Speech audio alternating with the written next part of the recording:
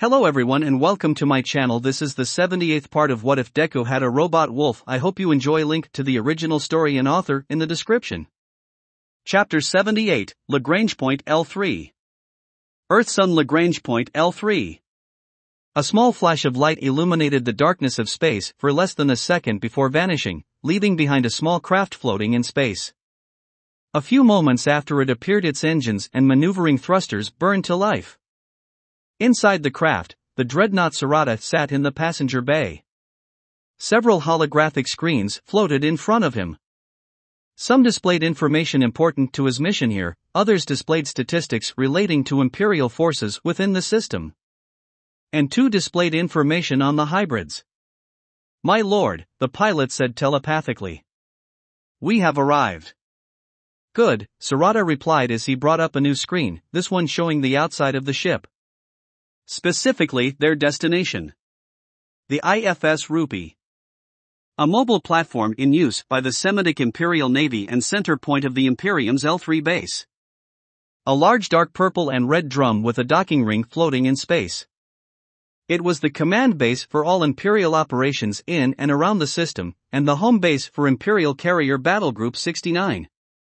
Patrolling around the platform were two Imperial Starcutters, with a third one docked with the platform itself, as well as several similarly shaped destroyers and smaller patrol vessels. Fearsome warships shaped like spearheads, with several dusty plasma radiators built onto their hulls. Only a small portion of a much larger fleet. IFS Rupee, this is Jump Ship Valiant. Requesting permission to land, the co-pilot said as he sent the necessary clearance codes to the platform. Jump ship, ship Valiant. Security code received and accepted. Proceed to landing bay 2. Welcome back to the nest, the flight deck officer responded. Roger that rupee. Glad to be back. My lord, incoming message from the risky boots. Patch it through, Sarada responded. One of the holographic screens in front of him changed to display the captain of the Risky Boots, a young looking man in an Imperial Navy uniform. A dark purple and red one piece uniform. What is your report, Captain? Sarada asked. One of our swan singers reported hearing a ship transitioning into the stream a few days ago. It was in the vicinity of Earth, the Risky Boots captain reported. It was detected an hour after the last heretic was killed. Interesting, Sarada remarked. Any idea of what vessel it was? Negative, we weren't able to get eyes on it, the captain replied. We weren't even aware that there was another ship in orbit around the planet. According to her, the sound was quiet, barely noticeable. All the other swan singers missed it, even the ones on the Hidori. But it was there. Sarada frowned. A vessel silently entering the stream. Certainly not a syndicate vessel. Keep me informed if you detect anything else. Who is the swan singer that detected the vessel? Ensign Jean Summer Kirk, sir. Only just been assigned. Have her transferred to the Hidori, Sarada ordered. Talent like hers is rare and should be cultivated properly. I foresee a rather promising career for her if she keeps this up. Yes, my lord, the captain responded, saluting by planting a clenched fist over his left breast, his fingers separated to form a circle over his heart, like the outline of a planet. As mother commands, so shall it be. As mother commands, so shall it be, Sarada responded before the transmission ended. Sarada hummed. A vessel that was capable of entering the stream silently. He only knew of only one vessel that was capable of that, but why would it be all the way out here? And why would its captain be interested in Earth? Seems like this little planet on the other side of the galaxy is attracting a lot of attention. Mostly because of quirks and the potential for heretics to make human Semitic hybrids. If Earth is to know peace, then this will have to change. The jump ship shuddered slightly. From one of the screens, he could see the ship slowing down to approach the shuttle bay. A landing platform on the inside of the platform's ring. The ship landed with a slight shudder. Once down, the lift it had landed on proceeded down into the station's hangar bay. A large metal door closed above it as it descended down into the hangar proper. About a minute later, the lift came to a stop. Its destination reached. Descent complete. We are down. Sarada nodded before he dismissed the screens. He then stood up, made his way to the loading ramp and disembarked. When he departed from the jump ship, he was met by an Imperial officer and two Marines. Each Marine was holding a psionic halberd. Deactivated, of course. Sarada walked past them without a word, letting the officer and two Marines walk in line beside him. My lord, I don't wish to bother you, but the prefect is getting quite angry at not having a jump ship assigned to get him off Earth, the officer said. How long until all the jump ships have finished their maintenance cycles? Sarada asked. At least three more days, the officer replied. Then that is how long he shall wait, Sarada said. If he wanted to play golf, then he should have done so in an AR room, and not used military equipment to transport him to Earth. Let this be a lesson to him. Yes, my, my lord, the officer replied. Also, the recon team reports that they found the body Zaraba was previously using. His insides had turned completely into honey. Lessian venom, Sarada remarked. Seems like Agent did manage to get a hit on him. But that was months ago. He must have found a way to temporarily counteract the effects, the officer said. It would explain why he attacked the training camp when he was so close to completing his objective. He couldn't hold the venom back anymore and had to switch bodies, Sarada said. I'd have been impressed if he wasn't a heretic. We need to be more vigilant next time. Thanks to the prefect's actions, a heretic came dangerously close to taking on a hybrid body. This must not be allowed to happen again. We can start by finding out why the Palmi wasn't in Earth orbit? The prefect overruled the admiral and ordered her back to the Rupee, the officer replied. Then send her back. Sarada ordered. With the majority of the fleet outside the system looking for any additional wormholes, we need an assault star cutter in orbit around Earth at all times. The prefect is starting to abuse his position. If he tries to overrule the admiral again, deny him his request. I am starting to question that man's loyalty to the Imperium. It will be done, my lord, the office said. Good, Sarada said before they walked for a bit more. Have the three new hybrids been added to the database? They have, but their files are incomplete, the office replied. We're just waiting for your sister to meet them and complete their files. My sister's already here? Sarada asked, raising an eyebrow. That was quick. I sent the message to her only a few days ago. She was already in the system, the officer replied. Came aboard with the last supply ship she asked that you not be informed about her arrival. I see, Sarada said. His sister was always a sneaky one, always like liking to pay him surprise visits. Has she made contact with them yet? Unknown, sir, the officer replied. We've received no transmissions from her since her deployment yesterday. And we can't risk trying to contact her without running the risk of blowing whatever cover she is trying to make. Noted, Sarada said as they reached an elevator. Inform me when she reports in. Yes, my lord, the officer said as he and the two Marines stopped, whilst Sarada entered the elevator alone. Once inside, the doors closed automatically and started moving without any physical input. As he stood in the elevator, a dark presence made itself known. My lord, a dark, whispery voice spoke behind him. Have you completed your investigation into the prefect? Sarada asked. Unfazed by the presence behind him. This fragment reports finding several suspicious articles in the prefect's possession, the voice spoke.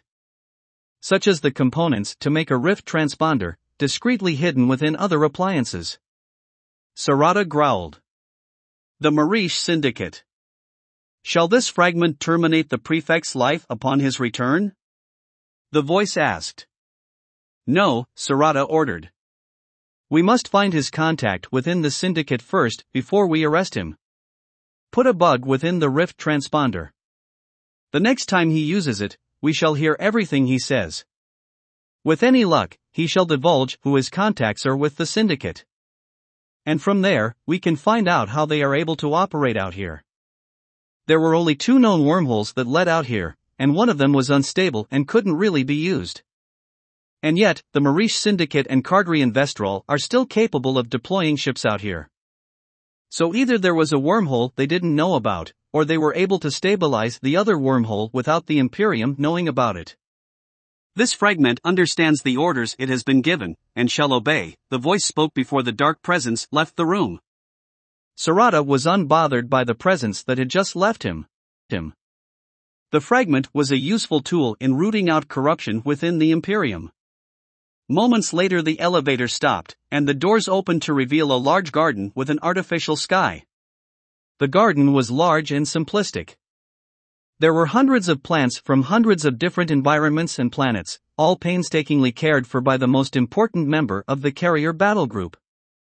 There were several Imperial Navy personnel walking around the garden. Yet only one of them was tending to the plants. A tall woman with long brown hair tied into a loose braid and hanging over her left shoulder. She wore a white apron over a blue dress. She was currently pruning some blue and yellow rose like flowers. Sarada proceeded towards the woman, stopping a few paces away from her. You require something of me, my child? The woman asked in a motherly tone, still focusing on her pruning. The last of the heretics who made it to Earth have been eliminated, Sarada reported. I know, the woman said. It brings me no joy ordering their destruction, some of them were far too young, but it must be done. Sarada lowered his head. Indeed, for teenagers and children to be tricked and persuaded to follow such a dark path is unforgivable. Unfortunately, there is no turning back. Death is the only cure to this sickness. Yes. That is the fate of all those who follow that path, the woman said, cutting off one of the flowers for emphasis. I warn you all that such a path is dangerous and must not be followed. That the soul is a precious thing that must never be messed with. And yet, there are some who just do not listen to me, who corrupt and taint their own souls by devouring the souls of others, forever changing themselves into all consuming monsters. And yet, I can't help but feel respons- responsible for each and every single one of my children who go down that path. As a mother, it is my duty to guide you the best I can down the right path. As reassuring those words are, Sarada said. You have told me that hundreds of times before. I have? The woman said. Oh, of course. My apologies. It's not easy to remember which of my children I've told that to. My memory isn't what it once was. Well, there are untold billions of us, Sarada remarked. It's not easy to keep an eye on us all. Indeed, it is, the woman said. If only I could keep an eye on all of you. Then perhaps I could stop more of you from going down such a dark path. And more will come, Sarada said with a frown. Until the lords are killed, and what was taken from you returned, the heretics will continue to grow in strength. Indeed, they will, the woman said with a frown. I just hope no more try to come here. And if more do arrive in the system? Sarada asked. Why simple, Sakura, the mother of all Semitics, said with a motherly smile. What you always do. Kill them. And send their souls to me so I may burn them to nothing. UA High School. 1A Dorm. So, let me get this straight, Mina said.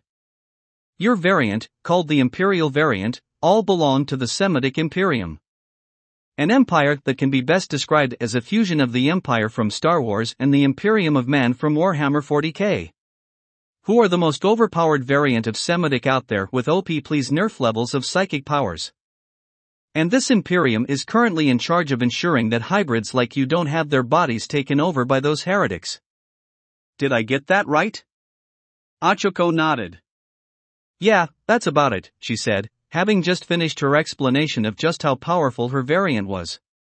The variant's real name is Arcistus, but people just call us Imperials of Imps due to our association with the Imperium. Imperium. But I have a long way to go before I'm as strong as other imps. I was sort of neglecting my abilities for most of my life, so I'm not as strong as I should be. It'll be years before I can catch up to where I should be. I see, Mina said. And you are, just how strong are these imps? Well, picture Darth Vader, Achiko said, noting the shocked looks already forming on everyone's faces. Now, picture an army of Darth Vaders. That is how strong the standard Imperial variant soldier is. And they only get stronger from there. Thank you, Hitoshi said. I am now never going to get any sleep again knowing that there is an army of people as strong as Darth Vader out there. Well, I for one hope we never encounter one of these imps, Hanta remarked. If they are as powerful as you say they are, then they would be able to curb stomp us just as easily as that heretic.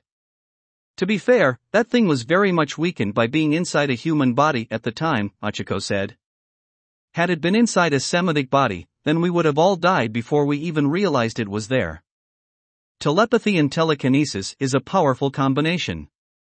I would like to speak to Life's manager and ask why he made them that insanely OP and why he hasn't nerfed them yet. Toru asked.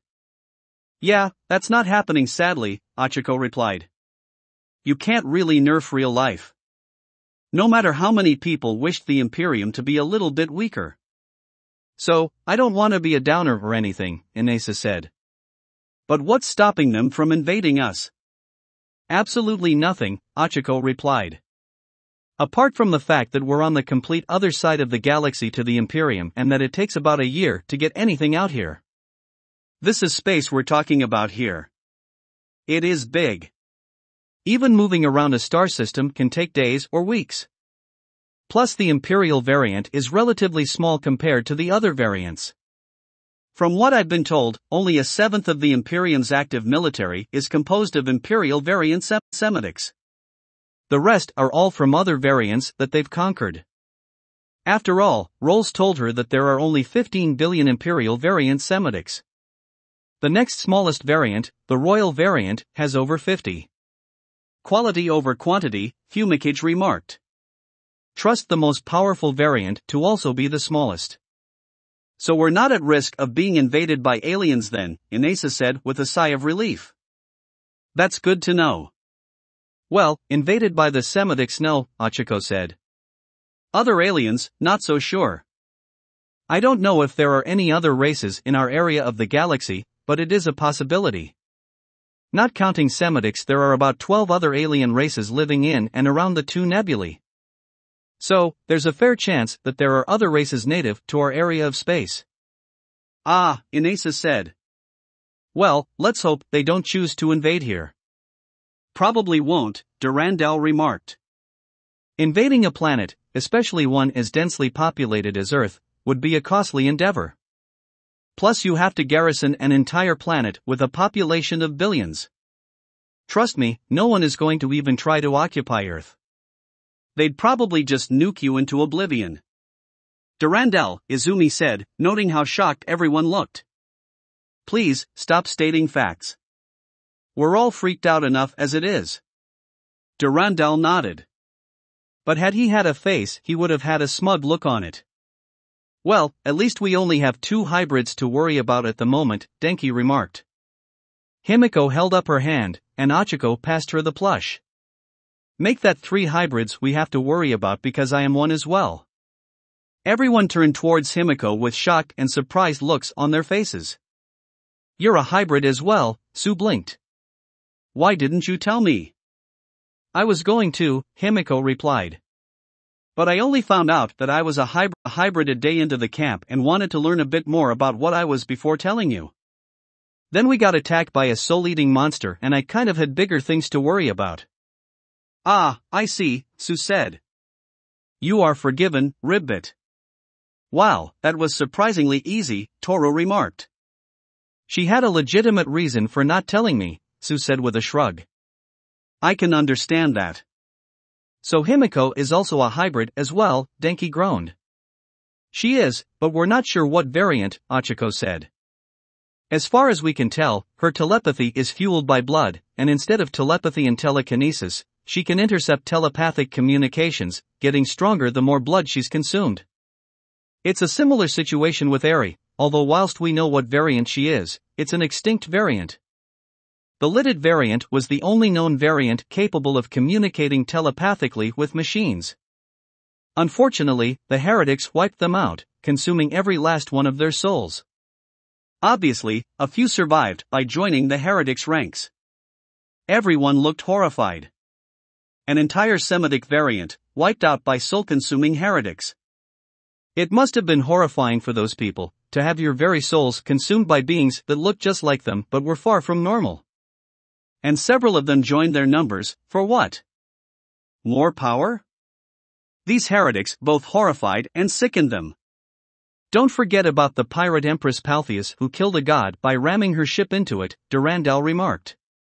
I'm not joking about the killing a god thing.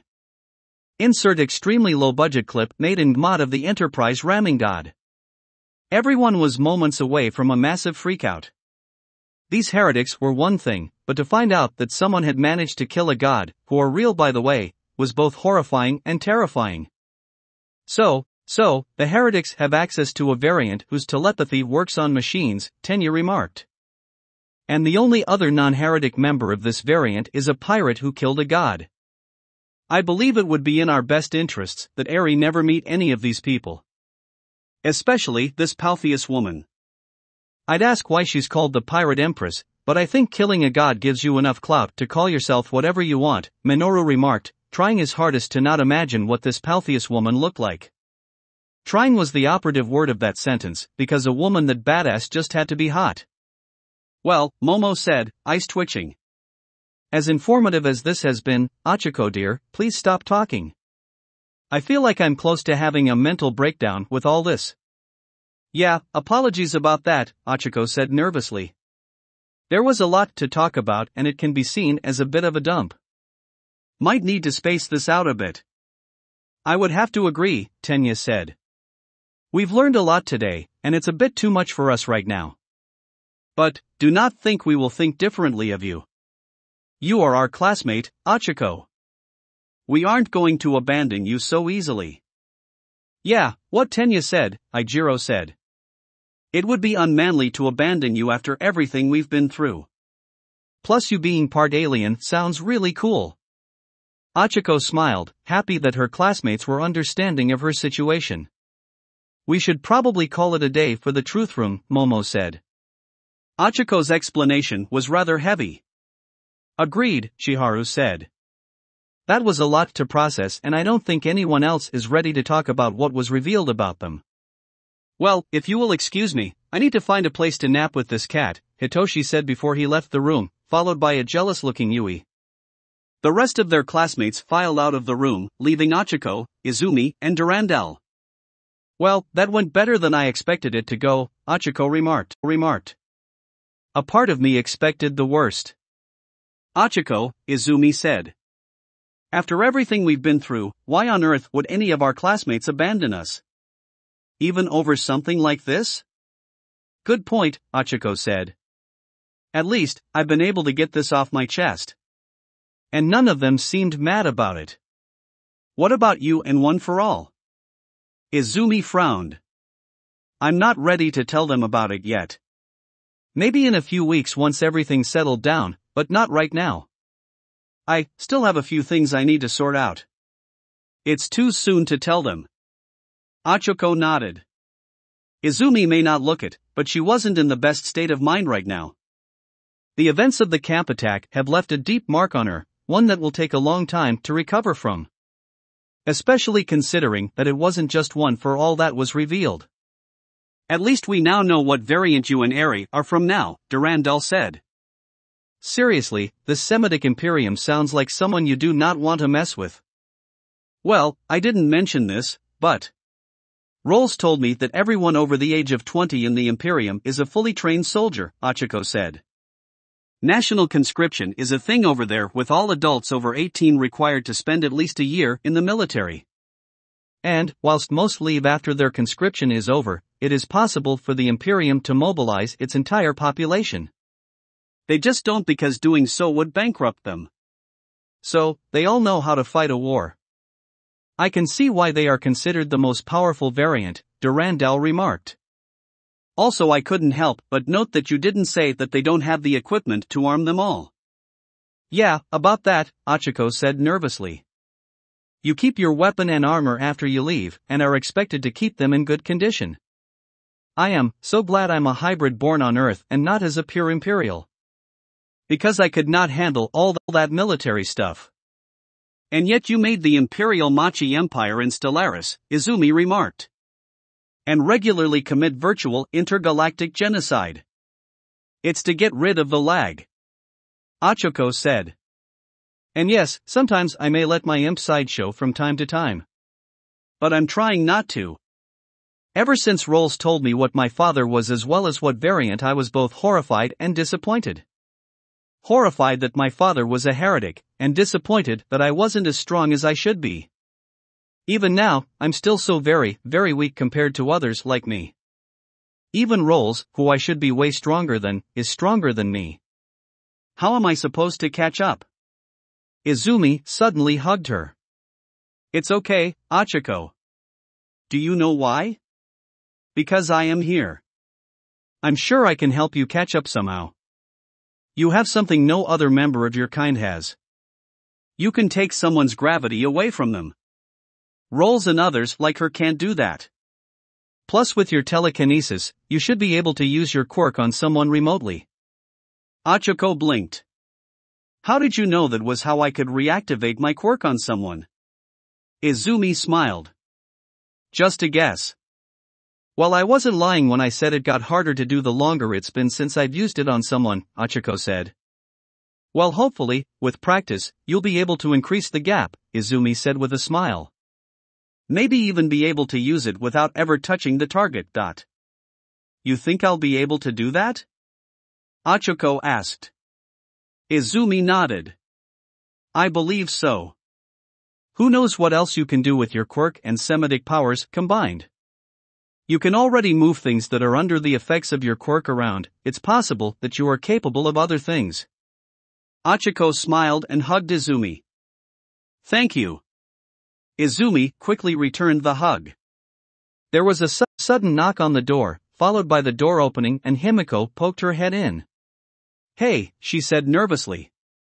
I don't know if you're busy or something, but can I ask you a favor, Achiko? Sure, Achiko replied. Himiko smiled as she stepped in, closing the door behind her. Thanks. So, I was wondering if you could give me some advice on how to protect my mind.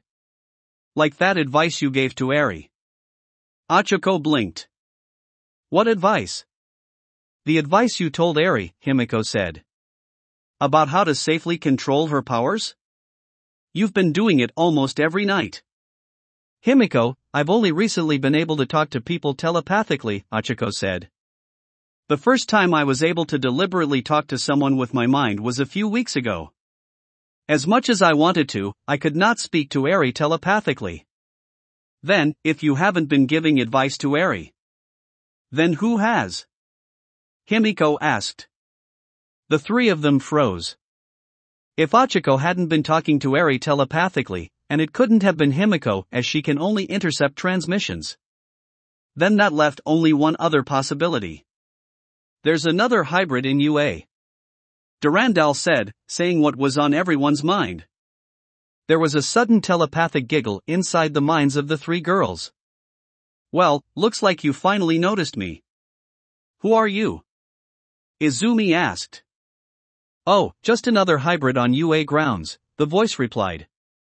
I was wondering how long it was going to be before you managed to notice me. The fact that I was the only one who knew about you doesn't help, Himiko said. Well, I wasn't aware that there was someone who could intercept telepathy, the voice said. Not that I'm mad. It was getting quite boring, sitting idly by and waiting for you to find out about me. What were you doing to Eri? Izumi demanded. Nothing harmful, the voice said. Just teaching her a few things she needed to know. Why? Achiko asked. Simple, she needed to be taught the basics, the voice said. Achiko didn't need that training, since she already received it. But then, why didn't you try and contact me? Achiko asked. There was no reply. The fucking bastard, Achiko cursed. Himiko, any idea where the transmission was coming from? Izumi asked. Do I look like I am able to tell what direction a telepathic transmission is coming from? Himiko asked. I don't even know how I can intercept them. Izumi nodded. Point made. So I take it you just spoke to the other hybrid? Durandal asked, getting nods from the three girls. Well, that just confirmed it, there's another hybrid on UA soil. Now the question is, where is she? And why haven't they made contact with Ochako until now? I don't know, they decided to fuck off when I asked. Ochako replied, quite infuriated that there was another hybrid on UA soil who decided to not interact with her. I don't think we'll be able to use the voice to recognize who it was, Izumi said. It was androgynous, so there's no way we can use that to identify them. Maybe speech patterns? Damn it, I wasn't expecting to have to deal with a hybrid. We may need to ask roles for help on this. I might have to, Ochako said. I want to find out who this other hybrid is. Same, Himiko said. They could have saved us a lot of trouble by just revealing themselves to us sooner. We might have had a better idea of what we are before we encountered roles. Let's agree to not tell anyone else about this just yet, Izumi said. I want to find out who this fourth hybrid is before we tell them. They might get paranoid and we do not need that right now. The others nodded. This needed to be handled with care. The class was still recovering and they needed to identify this new hybrid first and find out their motive. They were clearly on UA grounds. Only UA students knew about Eri. It couldn't have been a teacher as they would not have withheld such information from one of their own. Probably. So, the hybrid was probably a student. It couldn't have been one of their classmates, they would have been revealed by now nor could it be Meichiharu. So that left the hundreds of other students on the premises. Bugger. That will be it for this part. I hope everyone enjoyed if you did please leave a like and comment if you want part 79. If you want to hear more from me subscribe I hope to see you all in the next one.